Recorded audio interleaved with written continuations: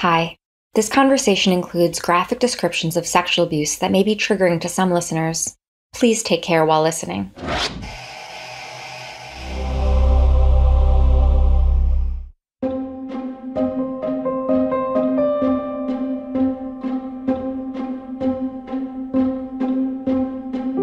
Thank you for joining us for episode two podcast with my two filmmaking colleagues, co director Kirby Dick and lead producer Amy Herdy. Glad to be with you. Hello, everybody. Wow. Well, we had to cover a lot of ground in episode two, and uh, we really decided that we needed to look a bit more into who Mia Farrow is because I think audiences, and we certainly didn't know when we started this project very much about Mia. And as we know the story as it unfolds, a lot of it revolves around her and who she is and who she was as a mother and her person and character. So I know part of our investigation was to sort of, you know, with a very open mind, find out about Mia's biography, present it, and also find out about who she is as a person and how people characterized her. So the episode, though, opens with this incredible video, this home video of the monster in the house. Kirby, can you talk about what you thought when you saw that video and why we all finally elected to sort of open episode two with it? Well, um, it, it, one of the things it showed me is how much fun the family had, um, you know, when they were all together. I mean, that to do something like that kind of project is really an undertaking. And I can just only imagine, you know, with Mia setting everybody up and making a movie like this, it must have been just really, really exciting and, and memorable. The other thing about it is obviously it's it could be looked at as an allegory for things that we were told was going on at the time. It's sort of an echo of that. Amy, so what did you think when you saw that video, the monster video? I think it shows a family that has a lot of love because you don't relax and play like that um, unless you're comfortable and completely at ease and love the people you're with. I mean, she put a lot of thought into it, you know, and that's kind of what we observed going through her house and in conversations with people throughout was that she did the crafts, the house is full of the thoughtfulness even the, the house itself was just sort of this wonderland for children with the lake and the she had animals and a garden. And i think that in a way not only as you said kirby there were undercurrents of something much more painful you know and monstrous as we came to learn. So we went on to in episode two to sort of open up after the monster sketch with like a thumbnail sketch biography of mia were there any things, Kirby and Amy, that you felt like were really important to include in that short biography? And if so, why? I'm just curious. Or, or any things that struck you as we were all learning about her and who she was? For me, the most important aspect of her biography, I think, was the fact that she had polio when she was very young. And, you know, it's particularly resonant now because we're in another pandemic.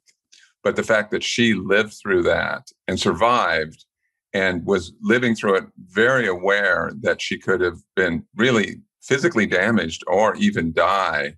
I think that is a is an important part of who she is. That's an important part of her character.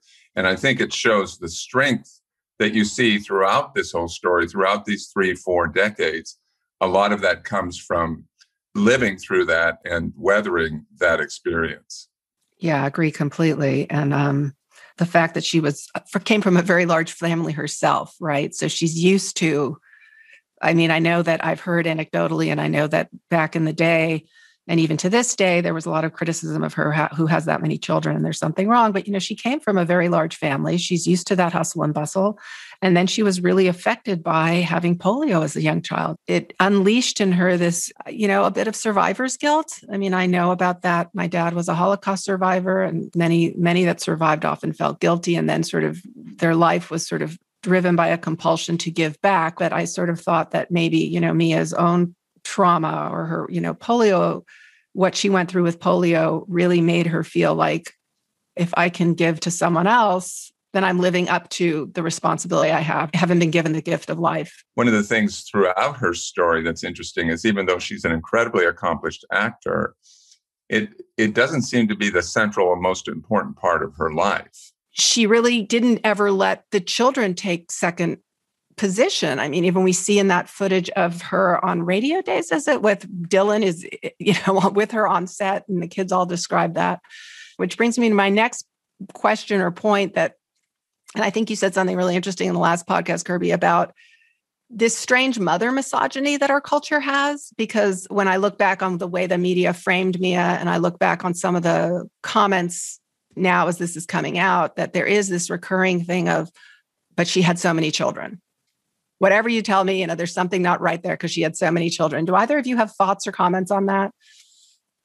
Well, uh, yeah, no, I've, I've, I've thought about it a great deal. I mean, she she had so many children, but she also was helping so many children. She was looking for children who are in very difficult situations and reaching out to help them. Let's see what Casey had to say about her mothering. So, how would you characterize Mia as a mother? Well, she's fantastic. First of all, she had uh, so many children, and I always noticed that they seemed happy. They were very well behaved.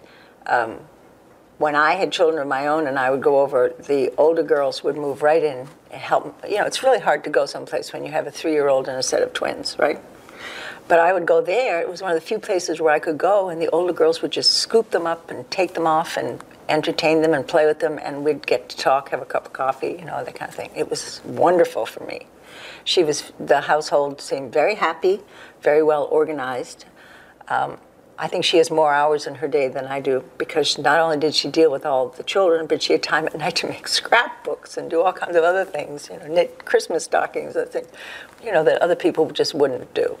And that impressed me very much. So I also wanted to play for you all a clip from Mia's sister, Tisa Farrow. What she what she said in this clip additionally about the home life and what Mia was like as a mother is really interesting.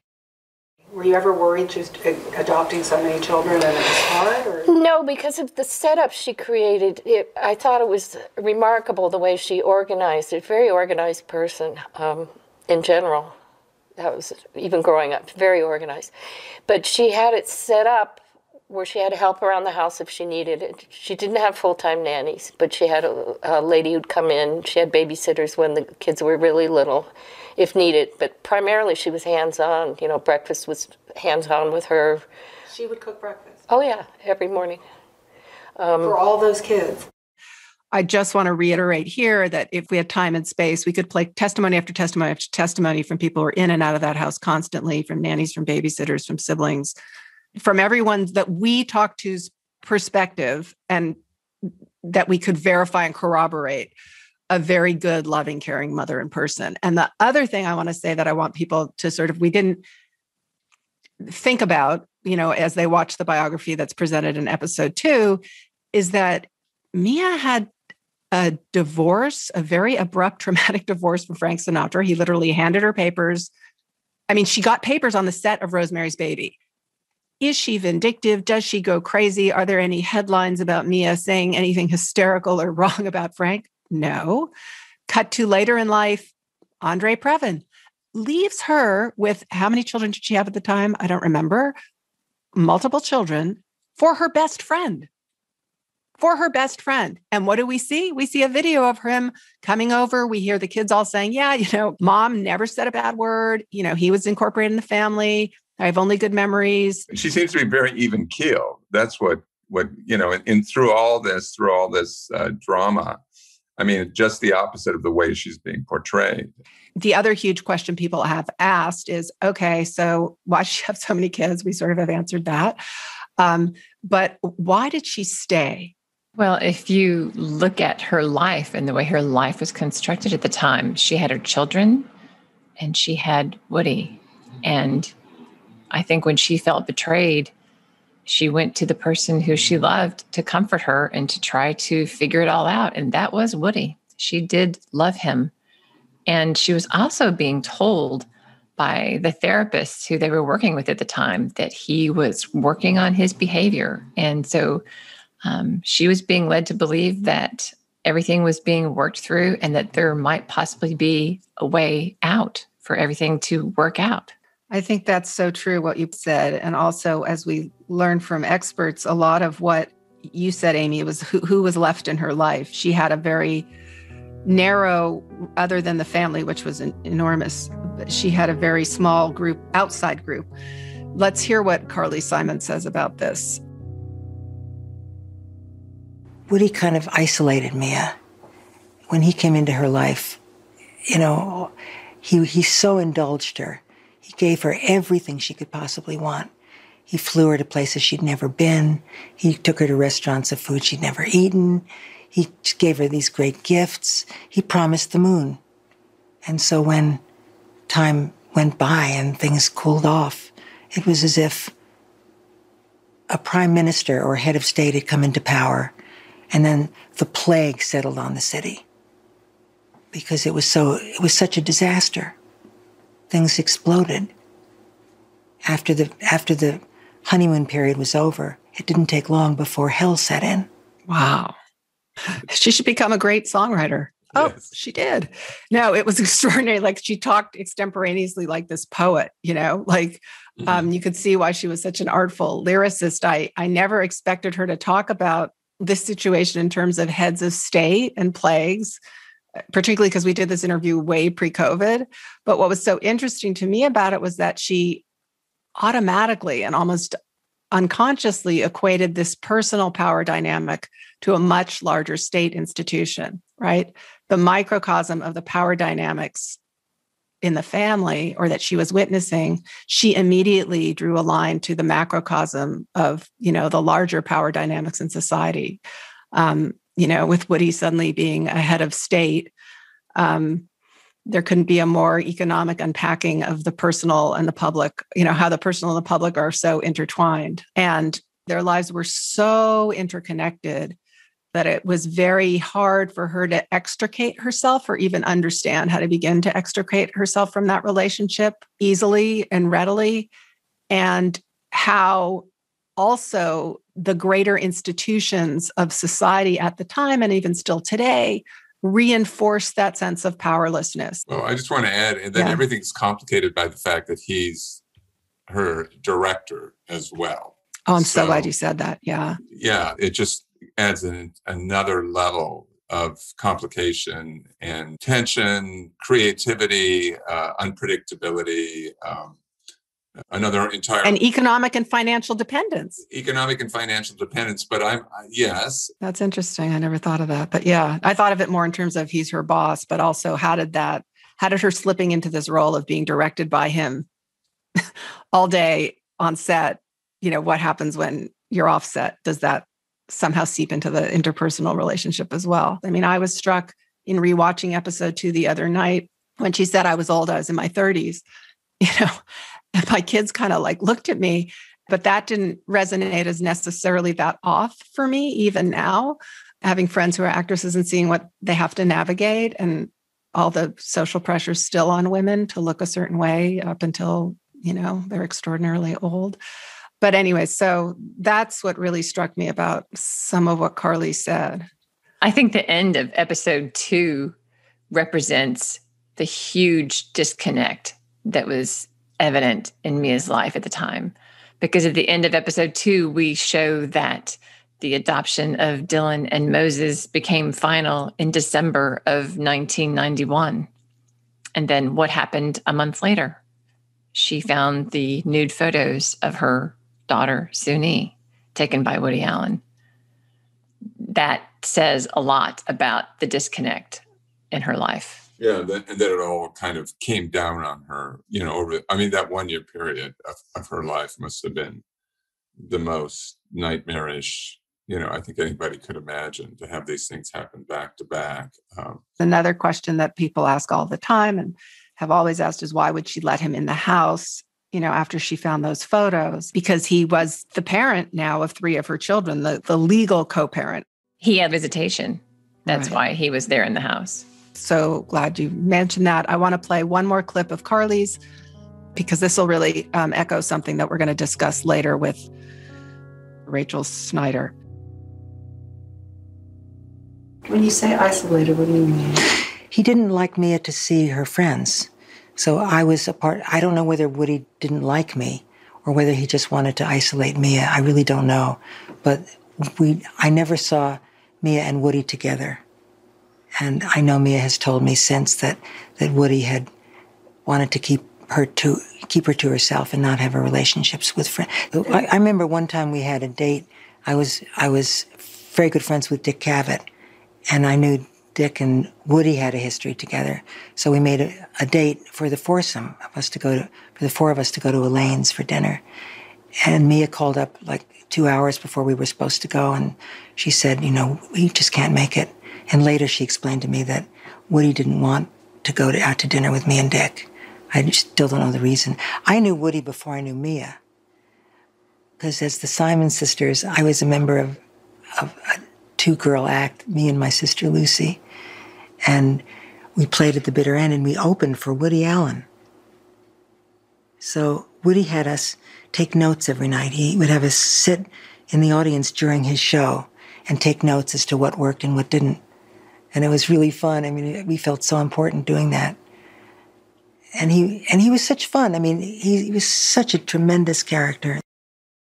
I, I, was so struck by that that I, you know, that she actually had a history with Woody, and still he was. She went on to describe in the interview that he like wanted nothing to do with her. He wouldn't socialize with her. He'd barely look at her when they were in the elevator together. And I also want to say one an, another thing that that clip made me think of was that um, I saw some, you know, people have asked, well, why just Carly Simon? And um, seems like you're just into celebrity, and it's actually no, like what what it's it's part of the what happened to Mia the pathology was, you know, as we were just seeing and describing, as she became more and more isolated. And Carly was one of her few friends during this time because they just happened to live in the same building. And their children were the same age so that they'd go up and you know into each other's apartments. Right. But so amy but the point is that when you went to look for people at the time so we're getting a full story that's who you could find right? Because carly was one of the few people that wasn't completely completely mia wasn't completely cut off from Oh, no, correct. Isolating a partner, a spouse, a loved one is often part of a strategy to allow yourself to have more control or power over them. And so that was so sad and poignant to me when we learned and heard over and over again from people. And Mia herself self described that her life got smaller as this relationship progressed. Uh, you know, I mentioned earlier sort of how Carly intimated that the nuclear family structure echoes the larger patriarchal structure and we see that in the ways she's talking here, right? It's all about him and her trying to sort of be a satellite and fit into his orbit somehow.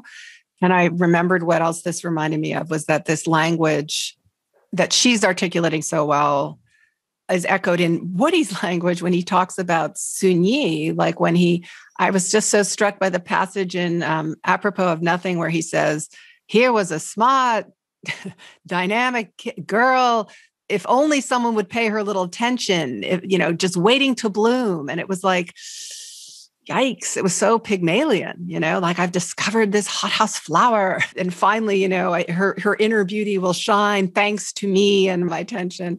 You know, this goes back to the concept of the muse, the concept that the master this is a great gift to somebody who's young. You know, it's it's just such an education, such an ex- life experience that they would otherwise never have. And it's it's actually the giving is it's a generous thing to do. And in fact, it's an extremely controlling thing to do. And you know, the concept of the muse has has always been this this person who is extremely lucky to be in that position. And uh, uh, it's only now, I think, being questioned. And and we try to question it some in episode two in the Christina Engelhardt section and it's something that you know he, he celebrated in his filmmaking. Again i mean i think society uh, kind of celebrated that particularly in the 70s that relationship was actually viewed those kinds of relationships were viewed as actually positive sometimes very positive. And the power dynamics and the potential for somebody being in you know emotionally hurt or exploited was just uh, not even addressed not at all. And so the people the, the people who are on the younger side of that relationship who are going through it are not only experiencing that but they're experiencing that in the face of society who says no uh, you should you should be welcome this. You should be grateful for this. You are a very lucky person. Oh i'm glad you said that because it shows kirby like um, we look at these interpersonal dynamics and it's a reflection on how we all as you said we're, we're sort of groomed as well by the power dynamics we see in the films themselves so we had that analysis or unpacking of the Manhattan clips and also the the montage showing the sort of I don't understand what May December means, but the the large age gap, you know, relationships that seem to be a repetitive theme in all his films. May December is uh, that the the man is in December. He's he's in the winter of his life. Right, exactly. And the and the young woman is in the spring of hers. The prime springtime, yes. right. But notice, right? That's such an interesting way of characterizing it because there's power is completely effaced. It's a calendar. There's nothing more innocent than a calendar. It's just dates and seasons, right? There can't be any there, you know. So let's talk about it in those terms. It's interesting and have that be the sort of palatable, you know, way of referring to it. Um, yeah, uh, it's very euphemistic. Yeah. Yeah. Um, I mean, the one thing I, I, I, don't know, maybe we should talk about is the uh, decision to utilize the tape. Uh, yeah, that's exactly what I wanted to jump to. I wanted to say we're going to talk a lot more about the tape, a lot more in depth in episode three, but I wanted just to touch on it because it is the way we end episode two, and it is such a harrowing thing um, to witness. It was a long deliberation about how to use it. Mia gave Dylan that tape that she made of her when she was seven, talking about being abused, and said, Now that you're an adult, it's yours to do with what you will. You can throw it away, you can keep it. It's yours to decide. And so, after much deliberation and hesitation, Dylan decided to let us see it. And we talk more about that in episode three. But, Kirby, what did you and I grapple with, and Amy Herdy as well, when we thought about actually using this in our series at all? Well, it was so um, painful I mean, it was so difficult to watch, and it was so such a deeply personal and painful moment for me, of course, but really for Dylan. And you're seeing that, and she's so vulnerable there. And you know, we did discuss not including it, but we felt that this is Dylan's story, and this is an important part of Dylan's story. And I think we we felt like we had to let the audience know you see Dylan being interviewed as an adult, and you sort of abstractly realize that she's talking about being a seven year old. But I think there's something to seeing a seven year old grapple with this, discuss this, and, and to realize that she is living this at that age. And the tape shows the basis of Dylan's account. It gives a clear explanation of her story and and what she relayed and what she would go on to relay many many times after that and that is exactly why it was so important for us to use it because i believe if that case had gone to criminal court that would have been um, a piece of evidence that would have would have been used yeah there's no question it's very difficult to watch i agree with you kirby about it making people uncomfortable um, that seems to be the reaction that that some have had in terms of watching it. That it's so incredibly difficult to watch. It's so painful to watch. Which is why Dylan said ultimately you can use it because she hopes it helps other survivors hear her language and relate and feel less alone and helps parents and loved ones and caregivers and aunts and uncles recognize the language of a child and understand what, what to make of it and how to support it. We're super excited now to talk with Alison Stickland. Alison, as I mentioned, is one of the three people that was in the house at the time of the alleged incident. She was Casey Pascal's babysitter um, at the time, and the Pascal children had come to visit and play with the Farrow Previn children. And so Alison actually is a living eyewitness to um, what occurred that day in the house, and we're super grateful to be able to talk with her today. Amy, do you want to tell us how uh, we managed to connect with her today? At first, we thought her name was Strickland because we were told that her name was Strickland with an R. And so we were searching for a Strickland. So we were searching for the wrong person um, for quite a long time. And then when we finally got the court records and realized that her name was Stickland and Alison had one L, and Stickland is a very common name in the UK, it's like Smith in the US. And so uh, I literally spent the better part of two years trying to find an Alison Stickland in the UK and couldn't find her. Uh, finally, found what was possibly a home address, no phone number. And I wrote a snail mail letter and dispatched it months ago and included my cell phone number in that letter. And it was a very cautiously written letter in case I got the wrong Alison Stickland. And I got a text message back just a few days ago, and two days the, ago, right? A few I mean, days our, our, ago. Yeah, the day after. Up. I think yes, was, yes, two days ago. Yes, which is insane. I got a text message the day after we uh, locked the episode that had her testimony. so I was just, it was one of those forehead smacking moments. And she said, um, I am indeed the Alison Stickland that you're looking for. And because I have a very suspicious nature, I immediately called her former employer, Casey Pascal, and said, Tell me some things that only Alison Stickland would know. And she said, Like what? And I said, Just details that only she would know, like names of kids who played with your kids or details of things that you all did with your kids or where you lived. And she gave me several details. And so uh, I called the number that the person had texted me who said that they were Alison Stickland. And I said, So thank you very much for texting me. And I need to make sure that you are the correct Alison Stickland. So I have a series of questions for you. Uh, where did Casey Pascal live when you began working for her? Um, what was the name of the boyfriend that you dated at the time? His name was Vinny. And she's still with Vinny, by the way, which I thought was uh, sweet. And, and other questions. And she answered them all correctly. And so I said, you are indeed the correct Alison Stickland that I've been trying to find. Hi. Hello. Thanks so much for talking with us. I'm Amy Ziering. I'm one of the directors of Allen v. Farrow. And um, you've got Amy Herdy on the line as well. Say hi, Amy. Hi, Alison. Good to talk with you again. What did you think? What did you think when you got that letter? And I don't know if you remember exactly what the letter said. Yes, I've got it here. What did it say? Um, says Dear Alison, I am a producer of Jane Doe Films, and if you're the Alison I've been trying to locate, we're working on a project that your former employer, Casey Pascal, is part of, and toward that end, we would both love to talk with you. So, what did you think when you got this letter out of the blue? Oh my gosh, yes, what a shock. Yes.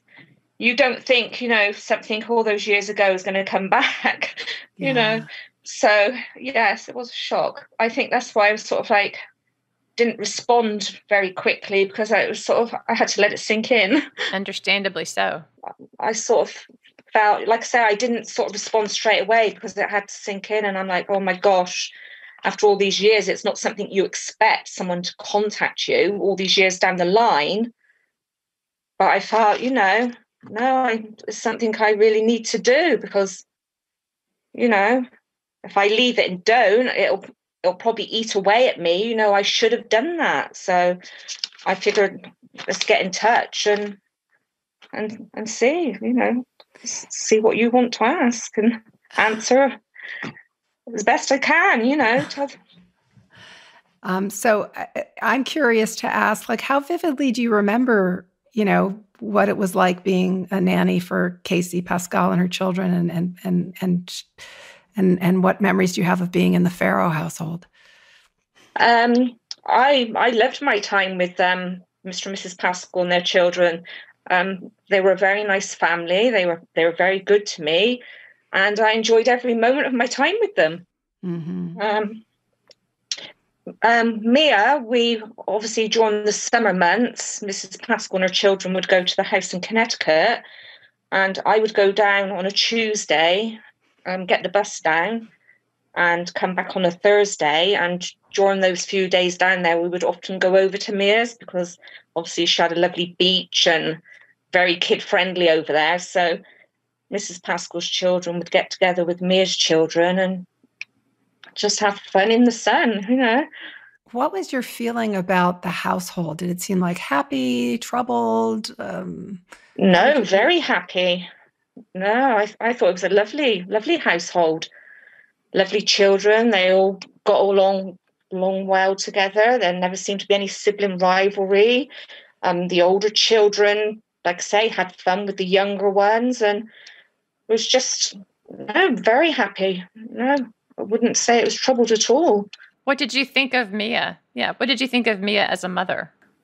Oh, I thought she was lovely. I thought she's very um like a very soft spoken, gentle lady, you know, very attentive. You could tell it was so obvious she adored all of her children. And I just thought she was lovely.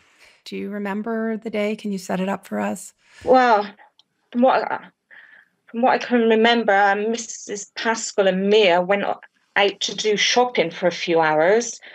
and myself and Mia's two, well, her babysitter and um, this French, stu- um, I think, Tutor. French teacher, tutor, yes, sorry, tutor. We were all at the house watching the children, and Woody came on a visit. And at some point during the day, I went, I didn't see one of the Mrs. Pascal's children, so I went in the house to have a look. And I opened the door to this small TV room. And when I opened it, I saw Woody on his knees, kneeling down in front of Dylan with his head in her lap. You're in the house. The children are playing everywhere. There's a TV room and the door is closed. Yes. All the children were outside playing. There's like a climbing structure outside. Um, but I went into the house and I opened the door to check in this TV room, and it was Dylan and Woody in there, and he was kneeling on the ground and he had his head in her lap. And I just walked, you know, turned and went. Oh, Alison, how old were you at the time? Um, 20. My math, sorry. Right, it's 65. So you were in your young 20s. 85. I was in my, yeah, mid mid 20s, yeah. so mid to late 20s. What what went through your head? Well, I was shocked. I thought it was very odd. I thought, you know, didn't know what to think of it really. It's not something you expect to see a father and daughter, you know, situation to see a father and daughter in. So you open the door and you're expecting you're just opening the door because you're expecting just to see like what's going on in the den, what kids are in there, correct? Like what right? Is that why you walked in there? No, I went in there because I was looking for one of Mrs. Pascal's children. Ah. because I didn't I didn't see them out in the garden playing with the other children no more. So I went into the house to look for Mrs. Pascal's child. Got it. That makes sense. So I just checked in that room because that's the room where some of the kids hang out hung out sometimes because there was a TV in there and toys. So I thought, oh, maybe they're in there, you know, watching TV, didn't want to play, so had gone off to maybe watch TV by themselves. And then you saw that hmm and what immediately goes through your head? Well, I just walked out and went back out into the garden. Um, I didn't really know how to react, but you know, like I say, I was there to watch Mrs. Pascal's children, so I just continued to do that until they come back from shopping, and we went home. Was did did Woody realize you had opened the door or did you sort of creep back out quietly or you have no idea? Um, no, I didn't creep back out. I'm I'm sure he was aware that I'd walked in because I just walked in as normal because there was no reason for me to go in quietly. I was looking for Mrs. Pascal's child, you know. I just, as you would, just open the door up. Right. Uh, Oh my so, God. Yeah, so I just sort of pulled the door back shut and went up back out to the garden. Do you have any recollection of what Dylan's expression was? She was just sat there. It's like when I opened the door, there was no, I don't recall any conversation or laughter. She was just sat there. It was just quiet, you know. Night, how, how did you end up discussing what you saw with with with Miss Pascal? It was later that evening when we were sat down having dinner together, and it had been bothering me, obviously. And I just felt I, I needed to tell her. I couldn't keep that to myself.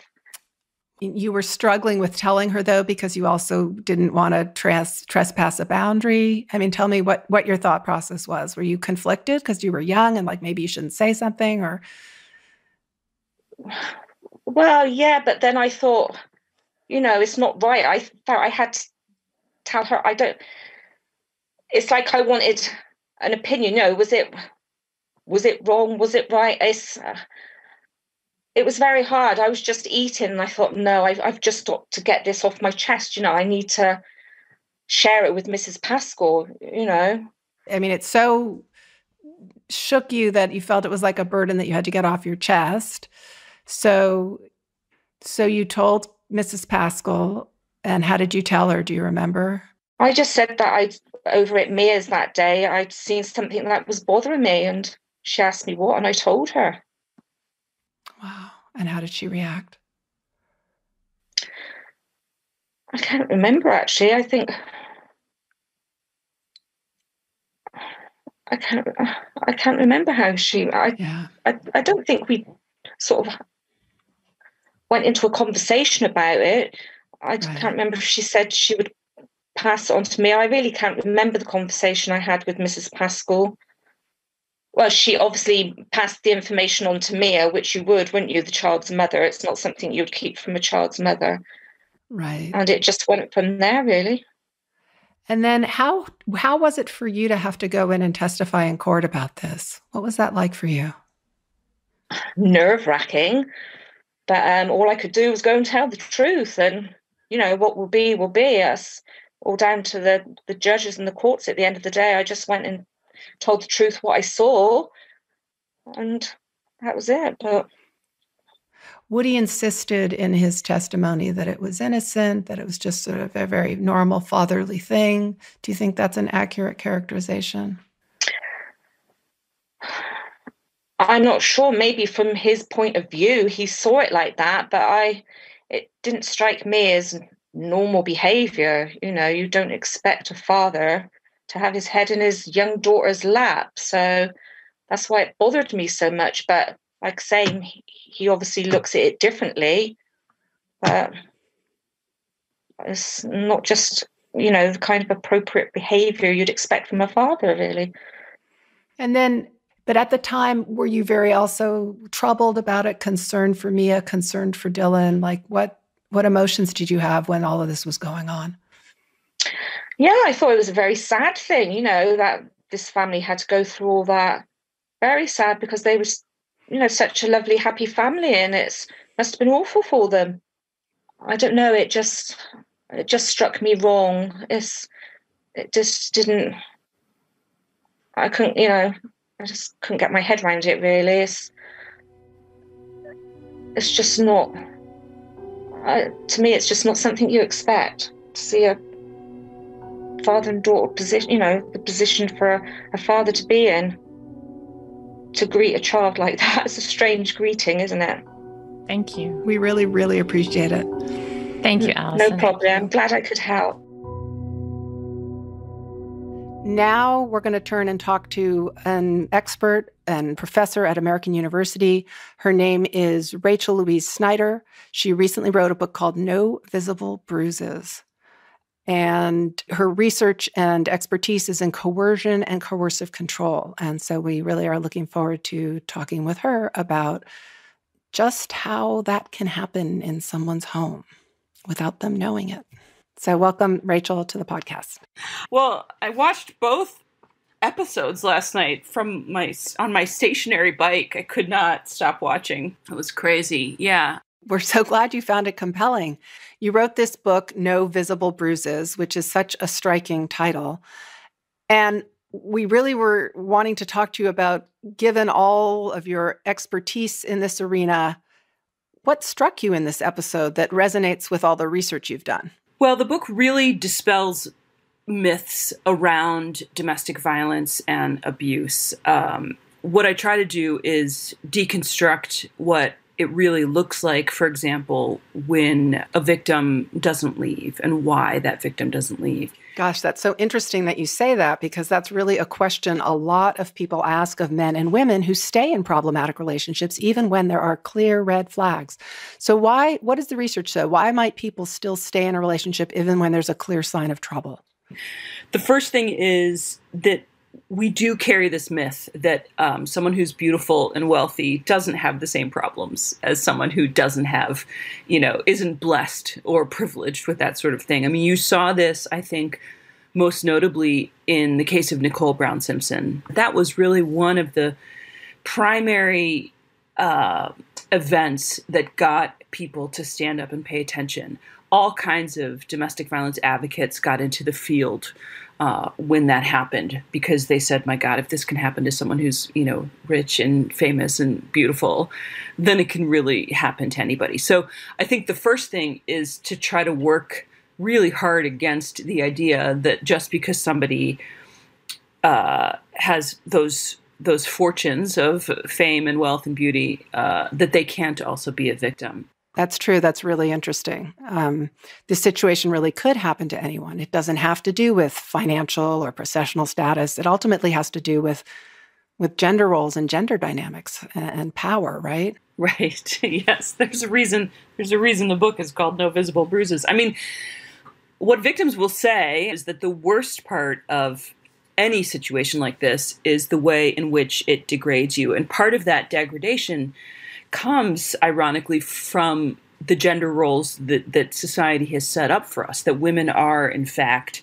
uh, a slightly lower status than men, and men who are very controlling uh, can play into that. So men can kind of capitalize on this innate structural power imbalance. So, for example, um, taking away somebody's ability to make decisions, right? Maybe financial decisions for themselves or um, decisions about their life, right? That to me is a matter of autonomy. You're taking away someone's autonomy, right? So, this is another common thing that you see this dynamic where an abuser will will overplay their own contribution to the relationship and underplay somebody else's. And what I hear victims say again and again and again is that they, in the loss of their autonomy, they also lost confidence in themselves. They they began to second guess themselves because they were being gaslit. Right. At, at one point, she says, "You know, I kept thinking, uh, like, was I crazy? Was I? Did I see what I saw?" And you find that again and again and again but that is that is a classic classic sort of first or second step in a coercive control relationship and i use the term coercive control because it was a, a, term coined by by a researcher named Evan Stark who wrote a book by the same name and I think it's been a real game changer because it finally allows people to name what it is. If you can't name what it is that's happening to you, it's very hard to get out of the situation. It's very hard to make sense of it. So, coercive control is this invisible kind of control that one exerts, and it's incremental and not easily perceived because it happens slowly and via many different pathways. Like isolation is is one of the classics, and you see isolation in relationships that don't have uh, violence in them all the time. So you take resources away from somebody, and resources might be things like friends, therapists, business associates, uh, and certainly finances. So you see this all the time this isolation. And isolation can happen while it appears that a victim is out walking around the world. So victims of predators are often isolated and then they can be more easily gaslit because their self esteem is so undermined. And that's because they start not to trust their own judgment, like we were just saying. And they're just completely dependent on just one person. What's insidious about it, or one of the elements that's insidious about it, in particular with the gendered roles, is that, you know, these are people who are not strangers to one another, who know each other, who know each other's weak oh, spots. That's interesting. So he is sort of intimacy capital. Absolutely, that's a really good phrase for it. Intimacy capital. You know, there's there's research that looks at um, prolonged domestic violence victims as having the same neurological brain makeup as prisoners of, of war. Um, that the PTSD does the same thing inside, like the neurological hardware of a person because they're not trying to control everyone around them. They're trying to control this one person or this one set of people. Thanks so much for talking with us, Rachel. That was really illuminating and appreciate your time. Thank you so much for joining us. Thank you to Alison Stickland again and Rachel Louise Snyder for speaking with us. As always, it was a pleasure to talk with my co director, Kirby Dick, and amazing producer, Amy Herdy. I'm your host, Amy Ziering, and we'll be back sometime after episode three premieres on Sunday night on HBO Max, speaking with new guests and playing brand new audio tape that you can't hear anywhere else. If you like this podcast and you have a minute, please review it and rate it via Apple Podcast, Spotify, or anywhere else you listen to podcasts. You can also stream it on HBO Max. I so look forward to connecting with you all next week. Thank you for listening. Woody Allen denies ever having been sexually inappropriate or abusive with Dylan. Woody Allen's therapist claims his behavior wasn't sexual as well. Woody Allen and Soon-Yi Previn were approached in December of 2020, and each was given two weeks to confirm interest in participating in an interview to address the allegations in this series. Their representative confirmed that the request was received, yet it was never responded to.